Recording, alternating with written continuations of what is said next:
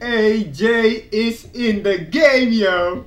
Finally got this three lap down with a pretty nice 21.66. Check it out, yo. Okay, let's have a look.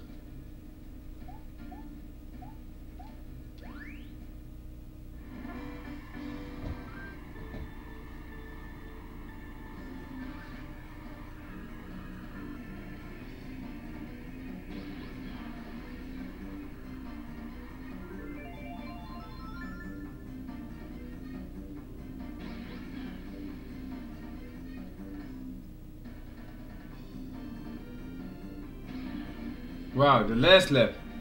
Last lap was fast. Looking good.